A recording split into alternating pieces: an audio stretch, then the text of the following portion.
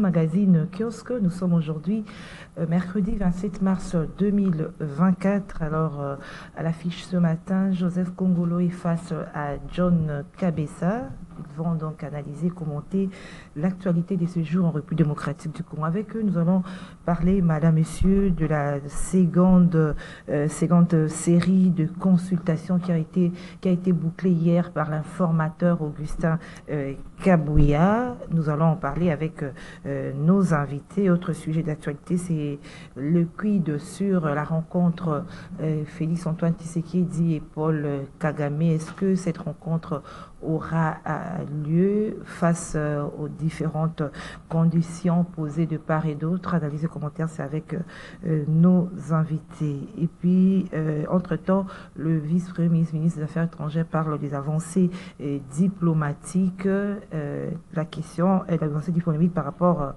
à cette question d'insécurité à l'est de la République démocratique du Congo. République démocratique du Congo, nos invités vont en parler au niveau de la Cour constitutionnelle. On parle de 110 requêtes réceptionnées par la haute cour en rapport avec des erreurs matérielles. L'analyse commentaire, c'est avec nos invités. John Kabessa, bonjour. Bonjour, cher Gisèle. Bonjour également à mon co-débatteur Joseph Congolo. Bonjour à tous les téléspectateurs qui vont nous suivre ce matin. Joseph Congolo, bonjour à vous. Bonjour Bienvenue. madame. Bonjour euh, à tous les téléspectateurs qui nous suivent en ce moment. Bonjour aussi aux éditeurs hein, qui sont nombreux et à vous aussi et à M. Cabessé. J'ai dit bonjour. Voilà.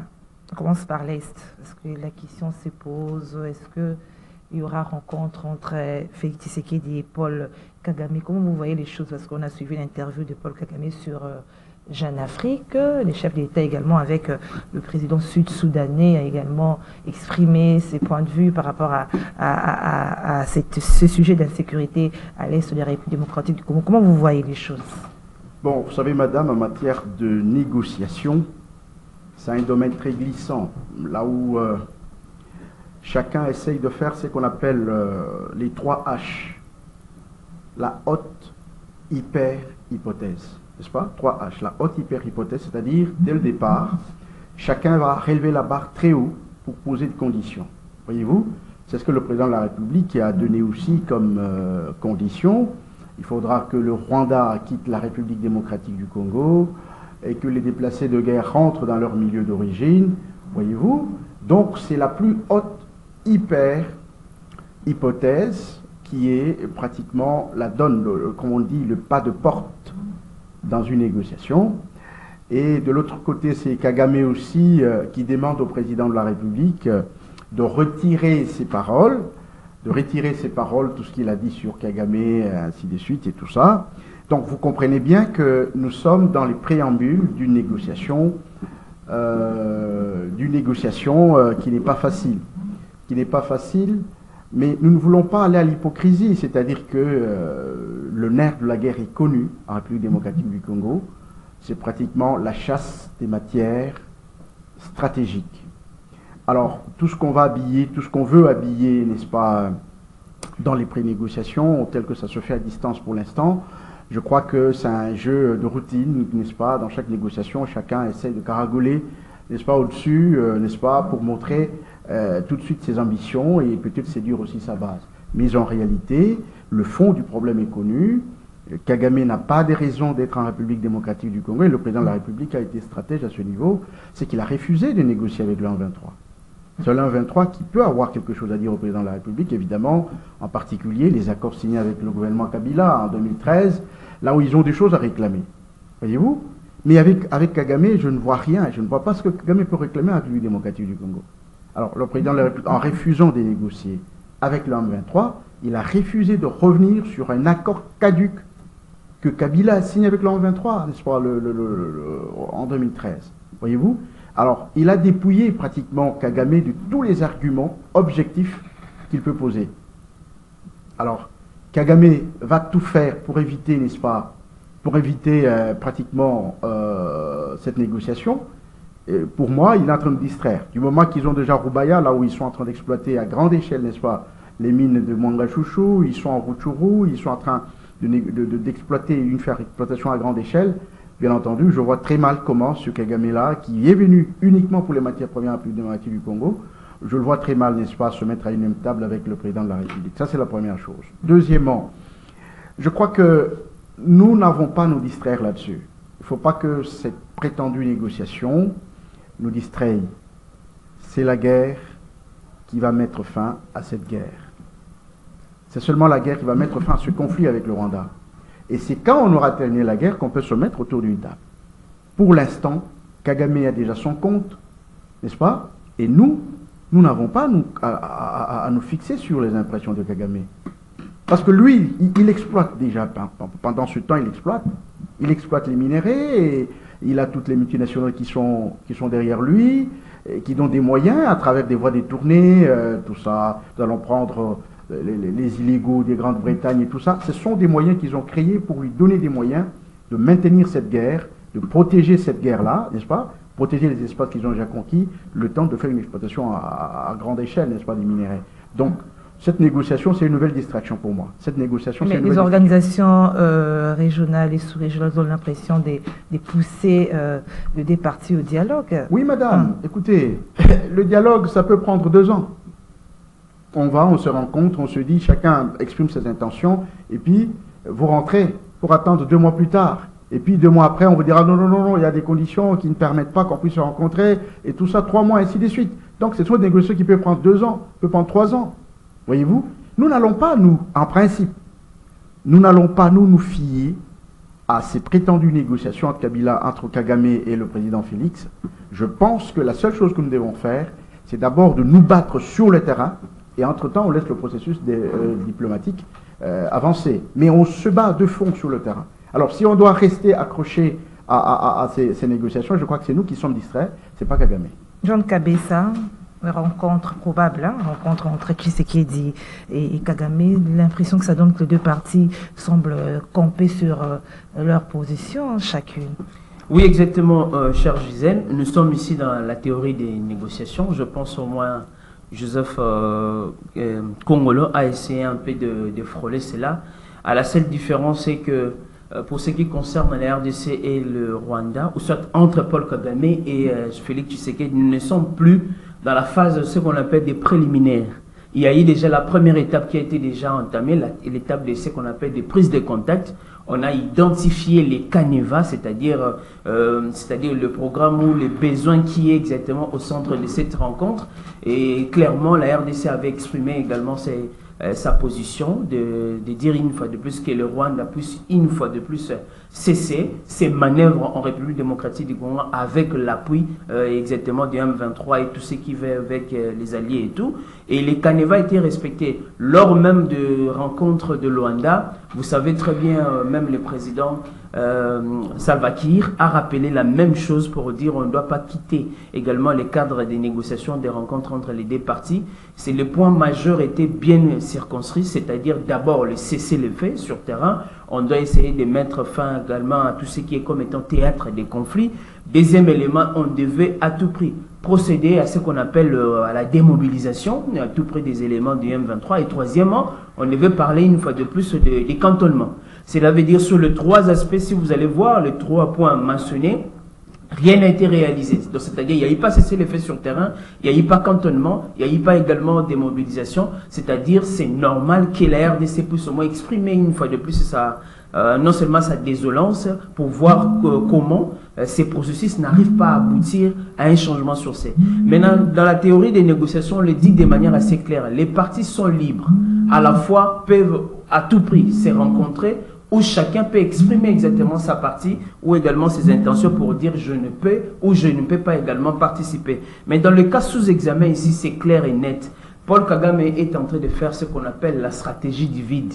Comme il est toujours dans la stratégie également des négations, il nie, il nie, il nie les tout, mais il ne savait pas que du côté exactement de Félix Tshisekedi, il y a une nouvelle rhétorique, c'est-à-dire toucher les fonds, démontrer au monde ou également sur le plan international, comment Paul Kagame a pu au moins euh, confectionner euh, ces, théâtres exactement, ou également euh, ces conflits pour essayer de tirer profit. À ces nets moments, pour ne pas aller trop dans les considérations des faits, c'est normal qu'il y ait ce qu'on appelle ces jeux de ping-pong on se rappelle exactement entre la guerre, euh, la guerre de la Corée, entre la Corée du Nord et la Corée du Sud. Il y a eu également les ISA et de l'autre côté, euh, la partie exactement euh, soviétique qui faisait la même chose pour dire on dit ça, les matins on dit autre chose. Mais carrément, Félix Tshisekedi doit pousser encore très loin. À mon humble avis, quand j'analyse la situation, à chaque sortie de Félix Tshisekedi, il y a une déstabilisation du côté de Paul Kagame qui a toujours peur de dire ce qu'il a dit. Mais on a suivi, il a essayé un peu d'insinuer, dire,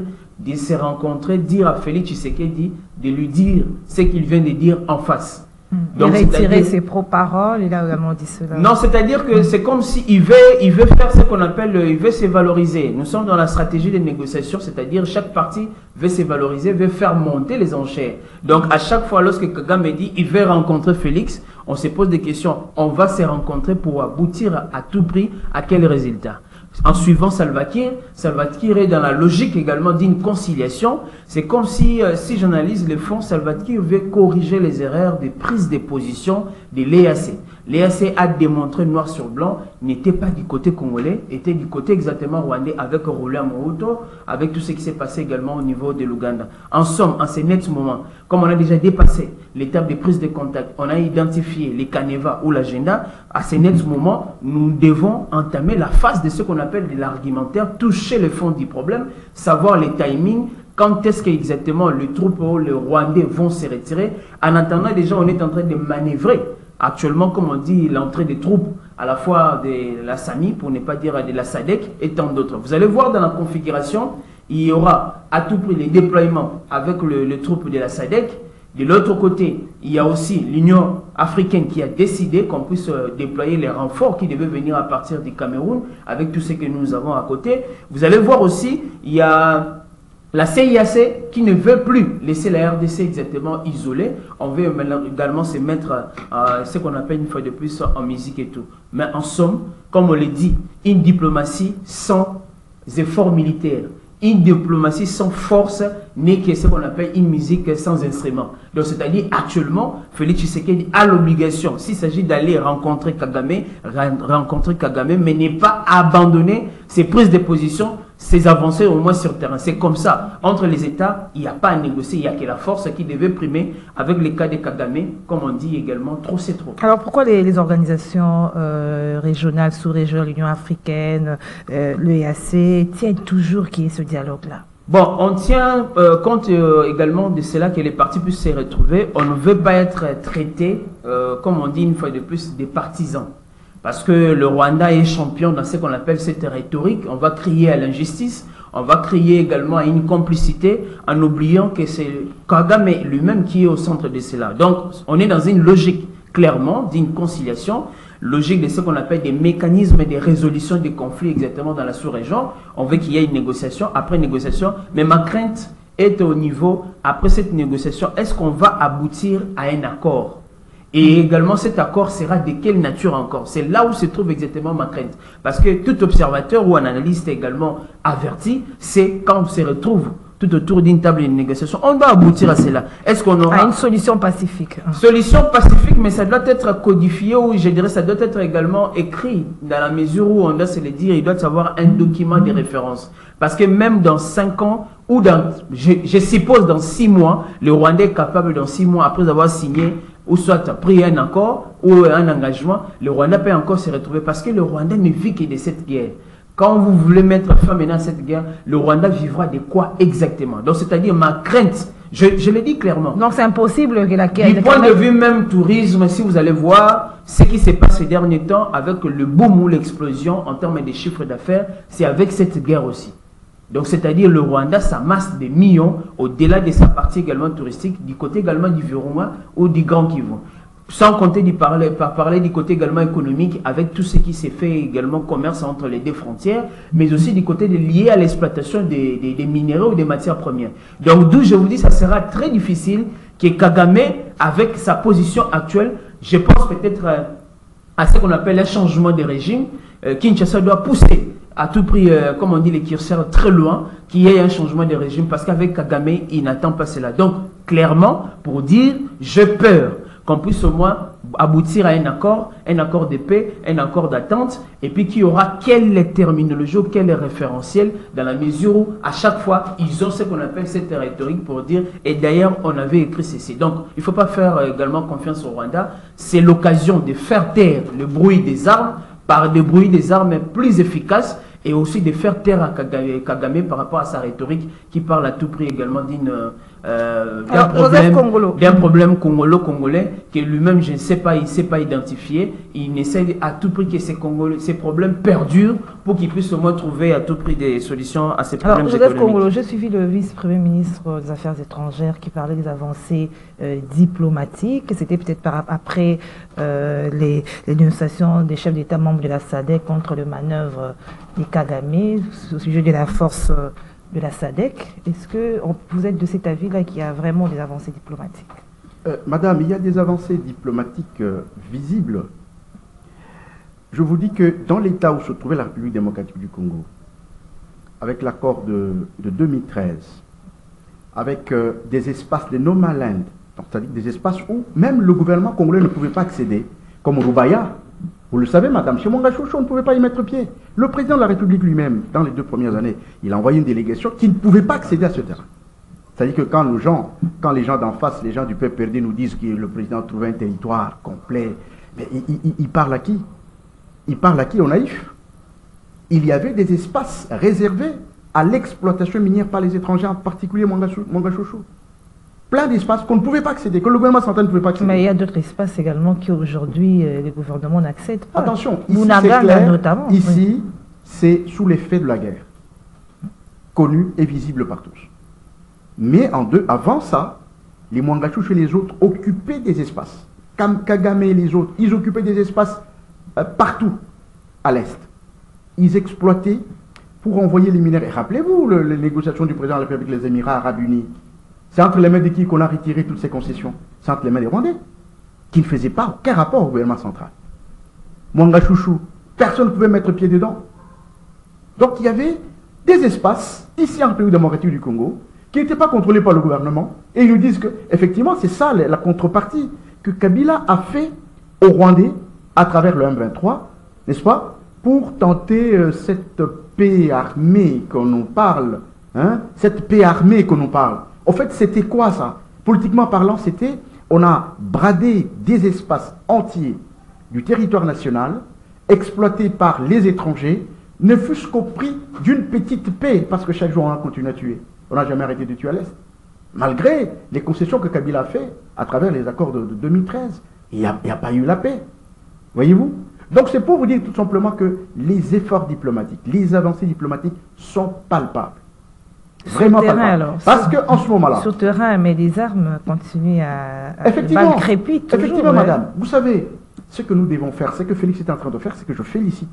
C'est qu'il a évité tous les pièges tendus et par les AC, et par le Rwanda, et par les multinationales qui soutiennent le Rwanda. C'est-à-dire Oui. Il a évité. Il a évité tous ces pièges. Les AC est venu ici. Vous savez qu'en ce moment-là, on pouvait déjà balkaniser le pays. Et est venu sur place, il s'est comporté comme, euh, euh, comme des, des, occupants de terrain. Et là, par la diplomatie, Félix a fait, a joué le jeu pour que ces troupes de AC partent. Rappelez-vous, madame, ils, ont commencé à collaborer avec, avec le 1-23. Et ça, c'était plus dangereux. Heureusement on a évité encore ce piège-là. Deuxièmement, éviter ce piège, il faut maintenant, aujourd'hui, chercher à négocier debout et non pas négocier coucher. Ça, c'est très important, madame. Et pour négocier des bouts, il faut d'abord se battre sur le terrain, récupérer quelques territoires. Même, on peut les confiner dans un petit coin de Bunagana là-bas. Là, on peut négocier des bouts. On ne doit pas négocier coucher. C'est comme si nous allons implorer euh, au Rwanda de, de, se retirer du terrain. Non, on se bat sur le terrain. C'est-à-dire que les avancées sur le terrain constituent un élément, un élément de négociation. C'est qui nous pousse à négocier. C'est ça. Vous ne pouvez pas négocier, vous pouvez négocier couché, madame. Ou à genoux. Non. Nous devons négocier debout.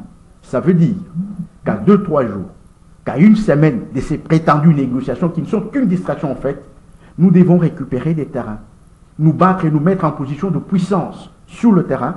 Et là, vous négociez debout.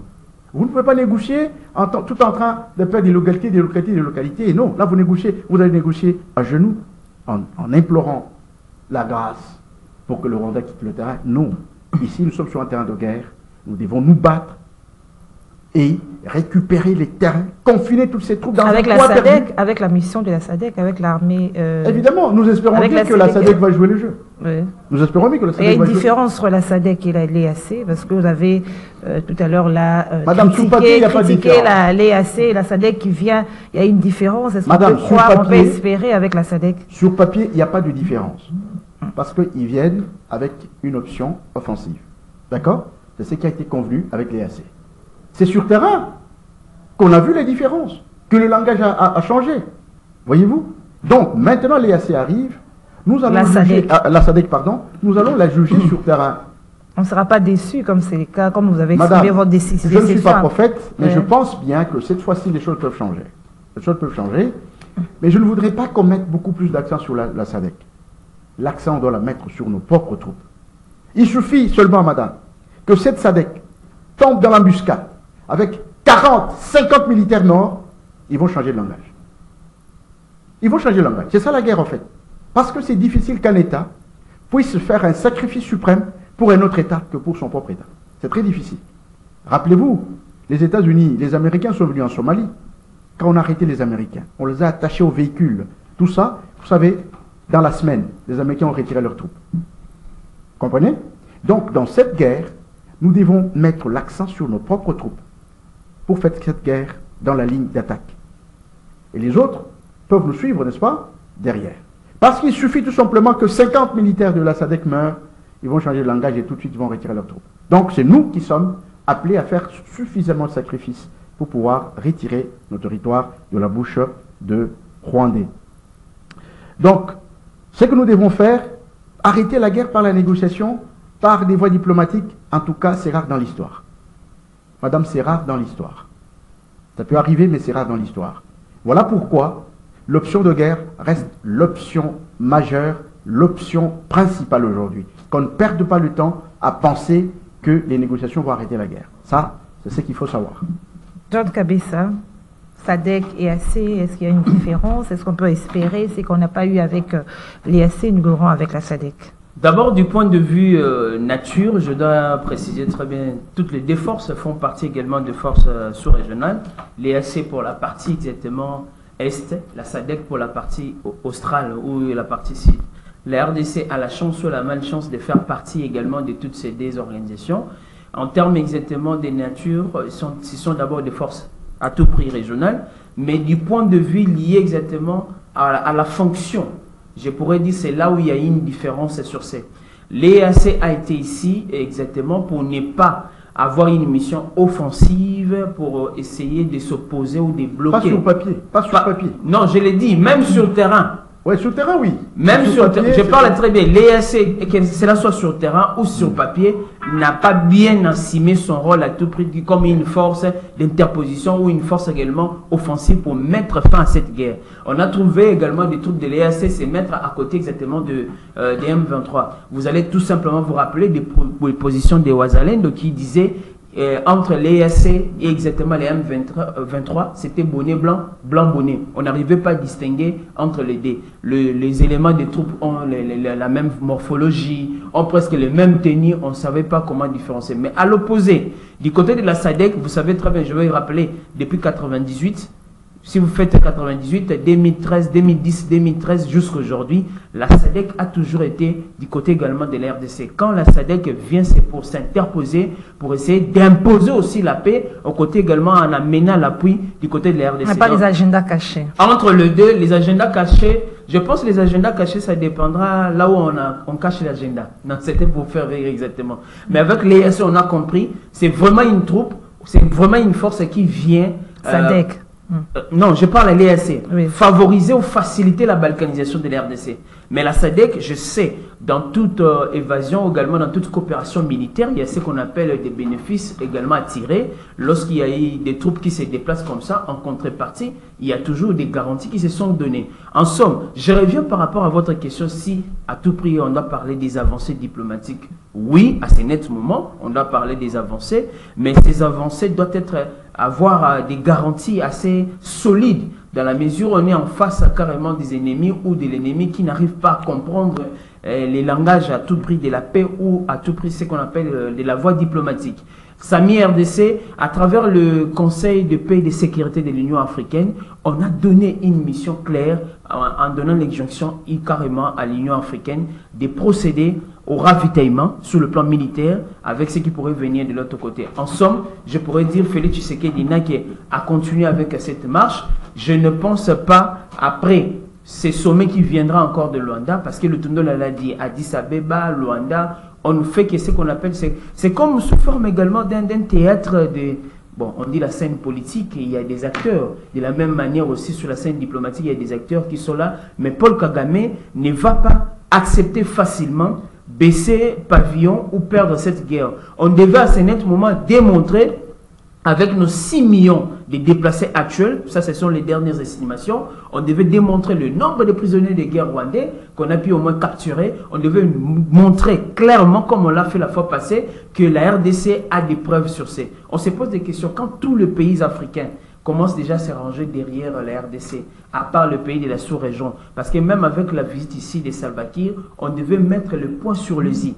Je l'ai dit la fois passée, la RDC a un autre problème de frontière avec le Sud-Soudan. Parce que le Sud-Soudan a hérité les problèmes du Soudan de manière assez claire. On devait mettre le point sur le i, savoir si le Sud-Soudan est de notre côté ou carrément du côté du Rwanda. Parce qu'à ce net moment, c'est mieux.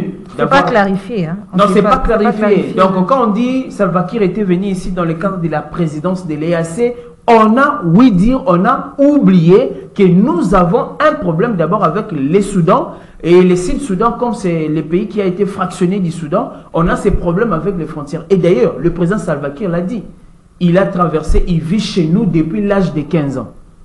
Vous comprenez la suite? C'est-à-dire, il y a un problème sérieux. C'est la même position, on parle de Mbororo, on oublie la partie Grand Nord est aussi si riche que la partie également du, côté exactement du Nord Kivu. D'où, pour essayer d'aller directement, on parle du retrait des troupes des M23 avec ces supplétifs, on parle du cesser les faits, on ne doit pas négocier, euh, comme on dit, à genoux, on doit négocier avec les forces ou également les armes à la main. Voilà ce qu'on pouvait dire une fois de plus. Mais on attend, d'ici le début avril, il ne faut pas oublier, oublier c'est à chaque moment avant la célébration de ce qu'on appelle du génocide rwandais, Paul Kagame, avec son régime, confectionne un discours, euh, inscrit des activités pour embrayer même la communication sur le plan international. Vous allez voir, 1994, 2014, 2024, ça fait 30 ans du génocide rwandais. Préparons-nous, d'ici là, il y aura encore d'autres épisodes où on verra Kagame qui va crier une fois de plus à l'injustice, qui va crier au génocide. Donc, il est temps qu'on puisse plus écouter, je le répète, une diplomatie sans armes est comparable à une musique sans instrument. Voilà. Alors, on parle autre chose. Hein. Un élément, je voudrais ajouter un élément pour les avancées diplomatiques. Je voudrais vous dire que la guerre de la RDC, c'était une guerre déjà oubliée. Sur le plan international, c'était une guerre oubliée. Le Rwanda exploité calmement, euh, les Mwanga Chouchou et les autres. on a oublié cette guerre. On a considéré par la communauté internationale, bien entendu, c'était une guerre déjà maîtrisée. Et avec l'arrivée de Félix, on a actualisé la guerre. Elle est internationale, internationale aujourd'hui, cette guerre. Regardez comment dans toutes les grandes réunions du monde, la République démocratique a une voix pour présenter la guerre de... Mais les retombées surtout. Tout à fait, madame, c'est ça, c'est ça, le travail de la diplomatie. Le travail de la diplomatie, ce n'est pas d'aller faire la guerre sur le terrain. Vous avez parlé de la diplomatie, non C'est pour. Euh, c'est tout simplement, on a, on a internationalisé la guerre, tout à fait. C'est-à-dire, on en a fait une préoccupation de la communauté internationale aujourd'hui ce qui n'était plus le cas. C'était pas par rapport à leurs intérêts qu'ils ont, qu'ils ont Mais tout à fait, tout à fait, madame. Ont une préoccupation. Madame, la guerre de l'Est, ce n'est pas une guerre du Rwanda, c'est une hum. guerre des multinationales, des puissances. C'est eux qui sont derrière. Je vous ai rappelé la dernière fois que quand Félix Tshisekedi est arrivé, il y a deux reprises, il a rencontré Bill Gates. La première fois, il l'a renvoyé promener.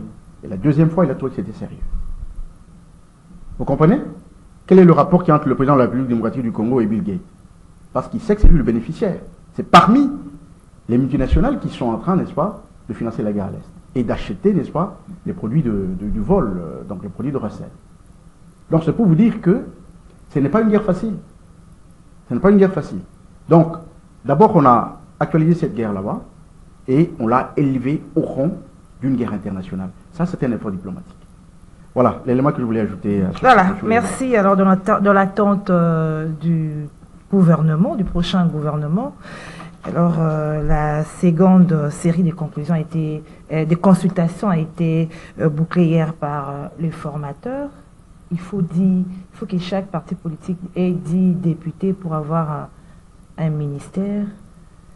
Des choses tirent en longueur hein, par rapport à, à la formation du gouvernement. Non, les choses tirent C'est l'impression que ça donne. C'est ça la procédure légale. Hum. Nous sommes dans un état de droit, ben, on se confine à ce que la loi, la loi dit dans cette procédure-là. C'est une procédure légale. Euh, vous allez sortir euh, le gouvernement pendant que le Parlement n'est pas encore là, disons le bureau définitif, et le président, le Premier ministre euh, chez qui il va défendre son programme. Voyez-vous? Donc c'est ça la procédure normale. Alors c'est le Parlement qui retarde alors Il n'y a pas que le Parlement. Même la procédure telle qu'elle est, c'est-à-dire qu'il faut d'abord constater, euh, identifier la majorité au Parlement, n'est-ce pas? Parce que le bureau définitif dépend de tous ces éléments. Le gouvernement dépend, n'est-ce pas, du rapport de force au niveau du Parlement. Voyez-vous? Voilà pourquoi c'est une procédure tout à fait légale qui est suivie. Maintenant, il appartient, n'est-ce pas, au législateur de voir dans quelle mesure il peut raccourcir cette procédure. Donc, on C'est possible. Rappelez-vous, madame, le président de la République, en 2019, il a fait six mois pour avoir le, gouvernement. Et ça l'a poussé à ouvrir un projet de 100, 100, jours du président de la République qui, n'a pas bien marché à, à 40%. Voyez-vous? Donc, c'est pour vous dire tout simplement que oh, c'est la procédure légale qu'on est en train de suivre. Donc il faut attendre, comme le président. Je crois que euh, M. Kabouya a fait deux choses à la fois. Il a été d'abord un informateur, et puis la deuxième partie du travail qu'on lui a donné, c'est en tant que formateur. Voyez-vous? Comme il a bouclé le travail, c'est qu'il doit déposer. Euh, en fait, le travail du formateur, c'est un travail fini, en fait. C'est un travail fini. Voyez-vous? C'est déjà un travail fini. On a déterminé le nombre euh, de ministères, on a déterminé euh, l'effectif, n'est-ce pas? Le nombre, n'est-ce pas, des députés pour avoir un ministère. Au moins, toutes les forces politiques en présence sont informées des principes, des règles du jeu, au sein de l'Union sacrée, bien entendu. Ça, c'est hautement politique, n'est-ce pas, au sein de l'Union sacrée. Donc, le travail de formateur a été terminé, comme vous dites qu'il a déposé le document, qu'il a terminé le travail hier, ça veut dire que le travail est fin prêt. Il ne reste plus qu'au Premier ministre qui doit être déjà connu du président de la République et qui travaille déjà avec lui. Il ne faut pas que les gens pensent qu'on va nommer le Premier ministre, euh, c'est alors qu'il va commencer le travail. Non, le président travaille, travaille déjà avec le Premier ministre, que nous ne connaissons pas encore.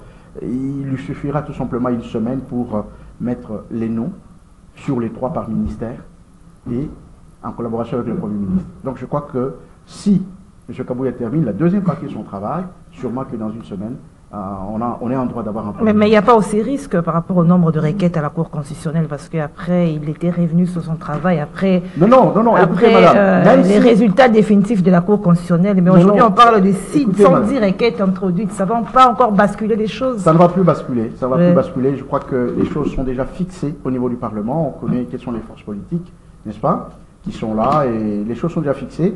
Même si après, il y aura Après, correction des erreurs matérielles peut-être. Deux, trois, trois personnes peuvent changer. Je crois qu'ils ne vont pas bousculer euh, les rapports de force au niveau du Parlement. Mm. Donc, ce qui est vrai, c'est que, bon, on doit être patient. C'est vrai que les temps sont durs. Les temps sont très durs parce que nous sommes en guerre. Et entre-temps aussi, euh, il y a des choses euh, qui nécessitent absolument un gouvernement pour pouvoir engager, n'est-ce pas, le, le, le, pays dans certains dossiers, ainsi de suite et tout ça. Je crois que c'est nécessaire qu'au plus vite, qu'il y a un gouvernement qui doit gérer les affaires. Voilà, Joseph, euh, John Cabessa, quelle analyse vous faites euh, euh, de ce travail de l'informateur? Beaucoup attendent impatiemment le gouvernement, mais il semble tirer en longueur comme D'abord, il faut analyser certaines personnes. Oui, on doit se dire, nous sommes dans la chronique politique, il faut non seulement placer le fait au moins dans le temps pour essayer d'analyser, D'abord, le travail d'Augustin Kabouya, c'est un travail à féliciter. Il y a beaucoup de gens qui n'attendaient pas de lui. Dans la mesure où on prend Kabouya, on ne pensait pas aujourd'hui que Kabouya pouvait avoir cette place sur la, sur la scène politique euh, refléter ce qu'on appelle euh, l'homme orchestre ou également l'homme de confiance du chef. On attend au résultat. Oui, c'est ça aussi, la providence sur le plan politique, les résultats. Parlons-en exactement. Après son travail comme informateur, il est en train de confectionner tout ce qui est comme étant formateur. Il, y a un souci, moi je dis, lié exactement à la gestion des ambitions sur le plan politique on trouve l'union sacrée, l'ancienne union sacrée, on attend la nouvelle forme qu'on va donner exactement à, cette, à ces regroupements politiques. C'est comme s'il y a, on ne veut pas s'accepter. Je les cite ici. Le présidium, l'ancien présidium, entre Jean-Pierre Bemba, Vital Kamere, Mbosso Koudiakwanga, Sama Lukonde, Bahati, et puis il y avait sixième Kabouya. Kabouya. Bon, lui-même, on le met de côté. Il y a un jet de deep sur le plan politique, il y a un dialogue des sourds. Et chacun veut jouer son influence auprès du chef. En oubliant, c'est un moment, le chef de l'État connaît un à un. Il connaît les niveaux de caméra sur le plan politique, il connaît même ses limites. Vous n'avez qu'à voir exactement le ministère de l'économie, de savoir ce qui se passe moins actuellement, que fera Caméré sur le plan également politique. Vous n'avez qu'à voir Jean-Pierre Bemba, les temps qu'il a fait, on sait exactement politiquement comment peser Bemba. On sait voir Mosso ce qu'il a fait sur le plan lié à la pondérance, ce qu'il a fait. Et Samaloukonde, je ne dirais pas quel poids il pèse. Vous allez voir l'ancien présidium, c'est là où se trouve aussi le blocage. On va ajouter les nouveaux acteurs ou également les nouveaux regroupements politiques qui s'étaillent actuellement le nombre de députés. Je vois sur le plan stratégique et même lié à la gestion des ambitions, c'est là où se trouveraient les problèmes. Il y a même les rififi qui a commencé entre 45 et 50 membres, comme membres ministres également qui vont composer les gouvernements. Kabouya a dit 45, selon le format qui a été décidé, je pense, avec les chefs de l'État, mais les sociétaires parlent des 50. C'est-à-dire, on veut ajouter 5 postes ministériels pour essayer de faire les partages des gâteaux. J'allais être très d'accord si les 5 postes-là, ministériels, on pouvait dire, on ouvre pour la société civile. Récemment, on a parlé avec l'OSPC, l'Organisation de la Société Civile pour la Paix au Congo. On a dit, est-ce que ce gouvernement est simplement consacré uniquement aux politiques qui ont eu au moins à travailler de manière assez à trouver leur poste? Nous risquerons d'avoir un gouvernement composé uniquement de politiques qui viendront, au lieu de gérer l'État, au lieu de résoudre les problèmes de la population, ils seront là pour se positionner, savoir, puis Mobile a fait quoi et ce qui se passe. C'est ça un peu ma crainte. Deuxième élément, j'ai écouté exactement Joseph Congolo qui dit c'est légal, mais je ne partagerai pas ses points de vue. Vous pouvez m'expliquer comment les élections au Sénégal venaient à peine d'avoir les élections présidentielles. Après la désignation ou l'élection de Diomaye, c'est après quatre jours, on apprend déjà la mise en place du gouvernement. Et chez nous, depuis l'élection de Félix Tshisekedi au mois de décembre, nous ne sommes qu'il faut monter, il faut redescendre. Je ne sais pas si les Congolais nous sommes faits pour des négociations ou pour des postes politiques. Je trouve cela, nous sommes tous en Afrique. Le Sénégal, ce n'est pas en Europe, ce n'est pas exactement en Amérique, c'est ici en Afrique. Comment les autres, après quatre jours, ils ont déjà la forme du gouvernement? Chez nous, ça va, je vais vous dire, ça va tirer à longueur. Peut-être maman hier à lobby, et au Kennedy, bah, jour d'indépendance, c'était juste pour rire. Donc nous risquons de courir jusqu'au mois d'avril, on n'aura pas ces gouvernements parce qu'il y a la mauvaise, la gestion des ambitions. Même si Kaboul va faire un travail excellent, il y aura des gens qui viendront également capoter cela pour essayer de parler. Je ne suis pas satisfait. Parlons des requêtes, ou également on peut les dire correction des erreurs matérielles. Je ne pense pas qu'il y aura un grand changement.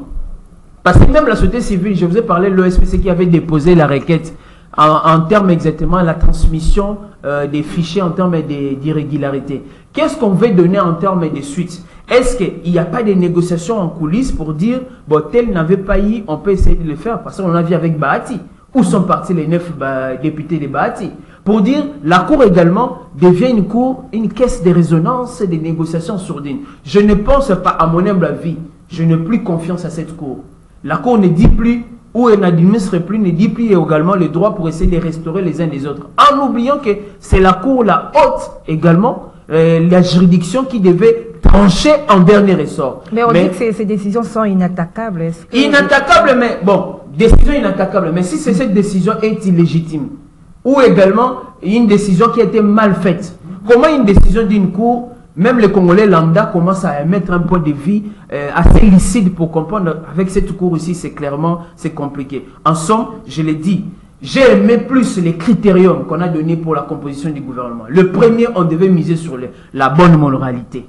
La bonne moralité. Sur la scène politique, on a, excusez-moi, on a des politiciens, on a des acteurs politiques qui postulent actuellement même à ces postes ministériels à, la moralité un peu pourrie, je pourrais dire. Même les jeunes, même sur le plan public, on ne peut pas présenter tel, on a dit, bon, c'est un homme intègre, ainsi de suite, nous connaissons. Mais il y aura un problème des compétences. On ajoute encore un problème de la géopolitique.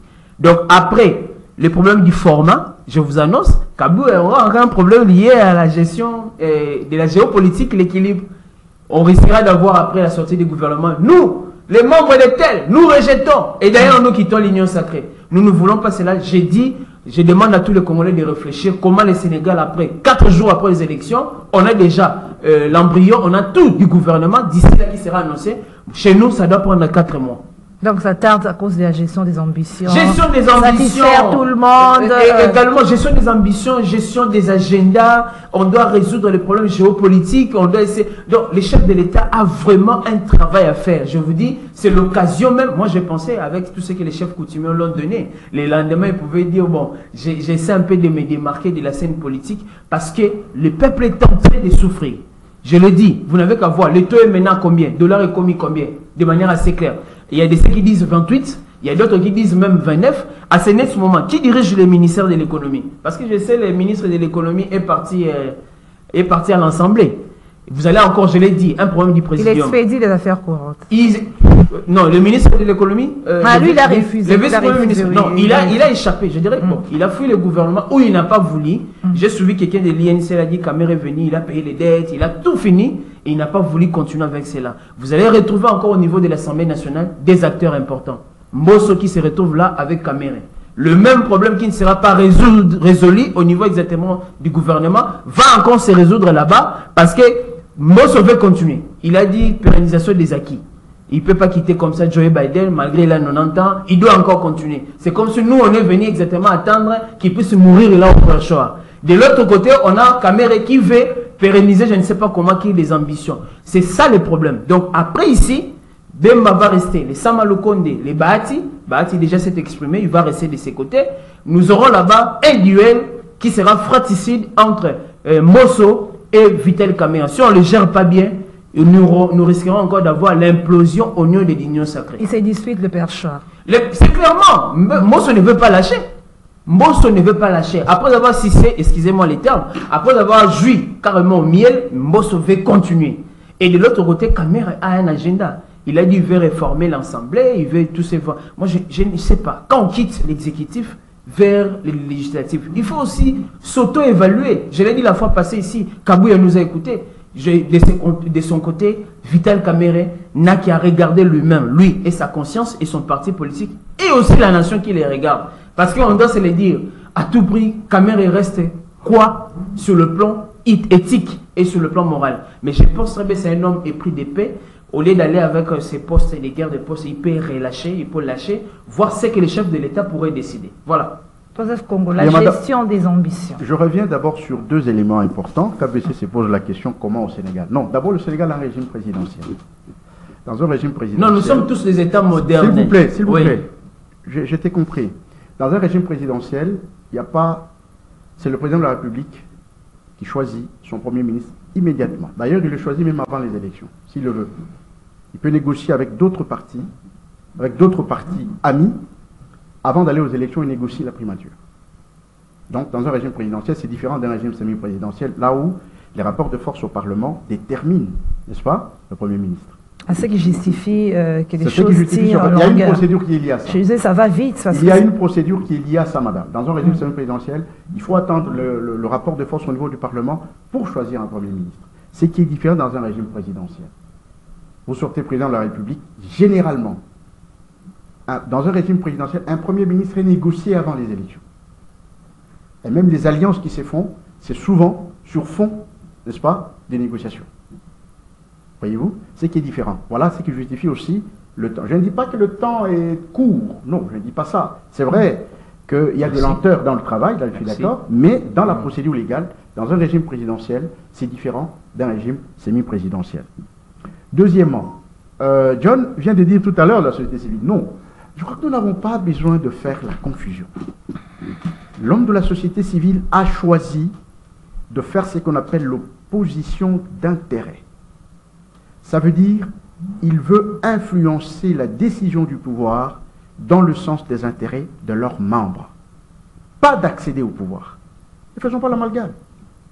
Vous voulez accéder au pouvoir, quittez la société civile, allez dans les partis politiques ou indépendants et respectez la procédure, allez aux élections, faites-vous élire. Il n'y a pas de quota société Attention, madame. À ce moment-là, vous, vous entrez dans la société politique. Voyez-vous? Quand on est dans la société civile, l'objectif d'une société civile, ce n'est pas d'accéder au pouvoir. Sinon, vous devenez un parti politique. C'est d'influencer la décision dans le sens des intérêts de ce membre. Tout simplement. Alors, on ne peut pas faire un gouvernement, n'est-ce pas, et chercher à mettre la société. Oui, le président peut choisir des éléments de la société civile pour un besoin quelconque. Cela est possible, comme il a pris la dame de la justice. La dame de la justice, par exemple. Et même le président de la République, il a 4-5 postes ministériels que lui-même, n'est-ce pas, choisit les gens qu'il veut. À ce moment-là, il peut les tirer dans n'importe. Ça n'a pas de rapport avec les, rapports de force au niveau du Parlement. Vous me suivez? C'est ce, que, se passe. Mais la société civile, sa vocation, c'est de travailler pour l'intérêt de leurs membres. Tout simplement, influencer la décision politique pour qu'elle aille dans l'intérêt de leurs membres. Ça, c'est un élément très important. Alors, le président lui-même peut choisir quelqu'un de la société civile, quelqu'un de telle corporation, n'est-ce pas Et pour un besoin quelconque. Là, c'est possible. Mais la société civile n'a pas vocation de participer à la gestion du pays à travers le gouvernement. Là, je crois que c'est aller au-delà des objectifs de la société civile. La gestion des ambitions, c'était ma question. Oui, mais ça qui écoutez, madame, dans le monde entier, dans le monde politique en général, c'est un monde d'ambition. Il y a deux catégories de gens. Il y a les hommes d'influence. Pas, pas démesurés. Madame, il y a des hommes d'influence et des hommes d'ambition. Les hommes d'influence ce sont des grands hommes, des grands hommes d'affaires. OK? Ce sont des hommes d'influence. Je vais vous donner un exemple. En Russie, il y a plusieurs milliardaires. Mais il y a un milliardaire, lui qui avait au moins 200, 200 députés sur les 700 que compte le Parlement russe. Ça, c'est un homme d'influence. Voyez-vous? Donc, il a ces 200 pour protéger ses intérêts. Mais les hommes d'ambition, ce sont les hommes politiques. Et le monde politique, c'est un monde d'ambition et d'influence au même moment. Parce que les affaires, très souvent, se terminent par la politique. Trump est là, c'est l'exemple, pas tant. Un homme d'affaires qui termine par la politique. Donc, à un certain niveau, les affaires et la politique se croisent. Donc, c'est un monde d'ambition et d'influence. Et vous, quand vous êtes un leader, vous devez être capable, n'est-ce pas, de faire la sélection parmi les hommes d'ambition. Parce que les ambitions, quelqu'un peut les avoir sans avoir des qualités, sans avoir la compétence. C'est ça aussi les problèmes. Voyez-vous, sans avoir la compétence. Il, est ambitieux, il, rêve d'être, mais sans capacité, sans influence, sans compétence. Voyez-vous Alors, il appartient au leader, lui, qui doit avoir le flair de voir il faut prendre. Quelles que soient ses ambitions, est-ce qu'il sera capable de la tâche? La tâche, il n'y a pas que la tâche, il y a aussi l'éthique. John l'a dit tout à l'heure. On ne peut pas travailler en désordre, pas travailler dans l'immoralité. On doit respecter certaines règles de gestion du domaine, que ce soit en politique, que ce soit la médecine, que ce soit le droit, que ce soit ici. Il y a toujours une éthique quelque part.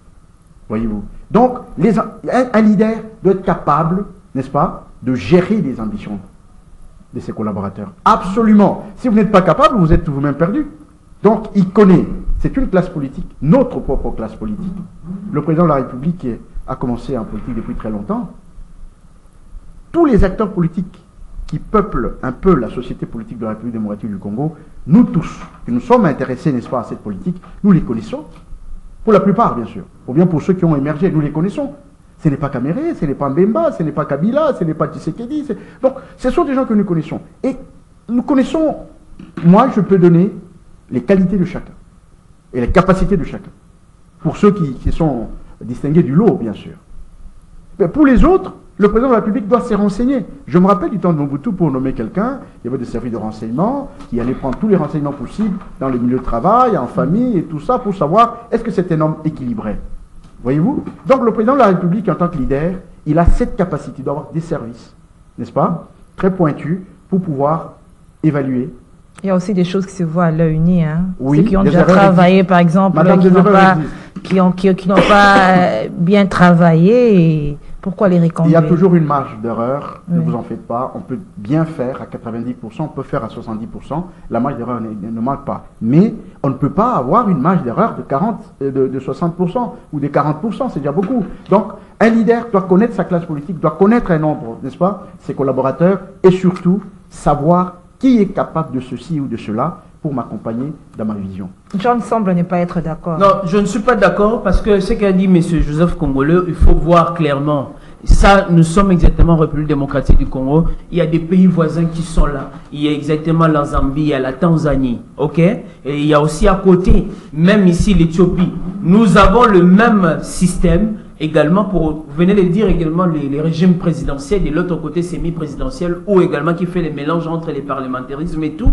Mon problème est que les délais, les tempos qu'on est en train de prendre, est-ce qu'on est en train de penser que l'État, actuellement, les besoins en rapport avec les objectifs du chef de l'État pour ces nouveaux quinquennats ici, l'État s'arrête ou l'État fonctionne Parce qu'il se pose un problème. Est-ce que nous fonctionnons avec les, les objectifs anciens, de l'ancien régime ou carrément du sien- de l'ancien quinquennat, ou il y a du nouveau? Là, je ne suis pas d'accord avec euh, M. Congolo. Quand on dit Sénégal, on dit RDC, c'est dans l'analyse comparative, dans la gestion exactement d'un État. C'est-à-dire, on tient compte l'exécutif qui doit être fait, voilà les mécanismes. Tout est établi par la Constitution. On ne doit pas créer la roue. Pourquoi ça doit prendre du temps? C'était ça un peu. Et le deuxième élément, pour ne pas aller très loin, la société civile comme étant c'est l'ensemble des forces vives et des acteurs qui font fonctionner exactement la nation ou l'État. Quand on sent qu'il y a un simple pas, il n'y a pas quelque chose qui interdit qu'il y ait recours en termes de force régénératrice de la nation ou de l'État au sein de la société civile.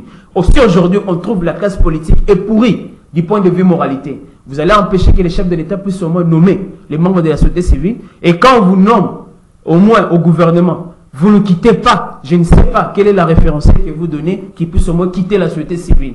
Un membre, un individu, un indépendant peut être nommé à la tête au moins d'un ministère géré par rapport à un besoin tenu. Si les politiques n'ont pas réussi, Qu'est-ce qui pourrait déranger qu'on puisse faire écho Cela ne peut pas créer une dichotomie pour dire on a quitté la société civile et quand on quitte, on vient de la société également politique. C'est possible si on trouve mieux qu'on puisse au moins trouver, même au sein également de la corporation. Je l'ai dit parce que nous risquerons d'être pris en otage. Tout est politisé, tout vient de la politique, au lieu de réfléchir. Joseph Congolais qui est ici, peut-être je ne peux pas prêcher pour lui. Est-ce que vous pensez qu'il ne réfléchit pas bien? Il ne peut pas résoudre un problème sur ces. Est-ce qu'on doit avoir les mêmes personnes qui ont eu à détourner hier, qui rentrent, qui veulent encore gérer les ambitions sur ces C'est là où on donne le travail à Kabouya. Mais on dit félicitations à Kabouya. Comme une maman dit, Api Kapende.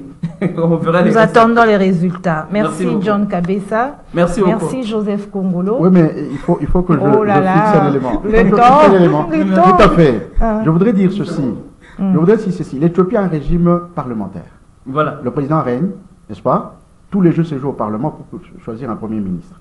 Un Premier ministre, n'est-ce pas? Le président ne, ne dirige pas, il règne. La Tanzanie et la Zambie? Euh, la Tanzanie et la Zambie, je ne connais pas seulement. leur Et l'Afrique du. Sud? Il y a quelques États. L'Afrique du Sud a un, régime présidentiel. Merci. Un régime Comment présidentiel. c'est rapide là-bas pour vous dire, tout à fait, c'est ce que j'ai dit. La différence la est au niveau fin, de la ouais. cure. Donc, quand- dans un régime présidentiel, le président négocie son premier ministre avant les élections. Hmm. Pendant que dans le régime ré- parlementaire, il faut attendre le rapport de force au Parlement. Et alors que le Parlement, tant que la grande cour n'arrive pas à mettre les points sur les terminer Voilà. le dossier, Voilà c'est là où se trouve le temps. Parce que la majorité appartient au président de la République. c'est la procédure. On pouvait attendre si cet été, le Premier ministre allait venir d'un camp opposé. Là, on peut comprendre, on va négocier les forces Pas forcément. Le rapport de force au. Parlement, Le président de la République a son Premier ministre en poche. La, majorité est en poche. La Constitution dit ceci. La Constitution dit ceci. Le Premier ministre vient de la force, de la plus grande force au Parlement. Ça veut dire qu'il faut d'abord identifier cette force au Parlement. C'est déjà identifié. Mais justement, Ce c'est pas du FCC. C'est la Ce procédure. n'est plus de l'ensemble. C'est l'union sacrée. Oui, Donc, oui, oui. nous le savons, mais sur le plan de principe, il faut, il y a un travail que la Constitution a arrêté Quel au principe. M. Joseph Congolo Quel Mais c'est la principe? Constitution.